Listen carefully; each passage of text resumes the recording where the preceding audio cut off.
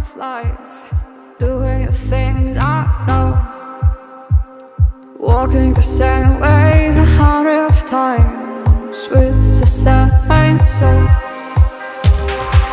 But do you ever try path on the right side, put it up in your mind? But do you ever try the path on the left side?